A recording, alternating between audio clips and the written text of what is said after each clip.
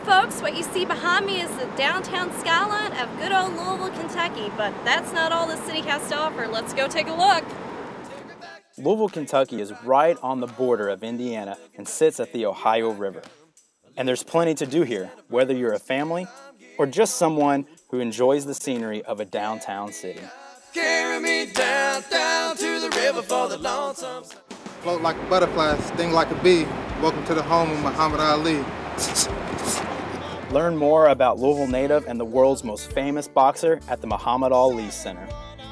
And if you're a fan of architecture or just love sports, check out the beautiful state-of-the-art KFC Yum Center, home of the Louisville Cardinals basketball team.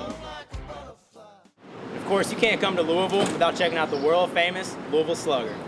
Even if you couldn't point Louisville, Kentucky out on a map, you've probably heard of Louisville Slugger. It's the world's most famous baseball bat. Come to the Factory Museum to see all these bats and actually see how they're made as well. Have a little history lesson and see all the famous baseball players that have used Louisville Slugger over the year and actually get to see their bats for yourself. And if you're having an adrenaline rush, hop on your skateboard or BMX bike and head to Louisville's Extreme Skate Park. Or maybe just watch. And of course, the most exciting two minutes in sports, the Kentucky Derby.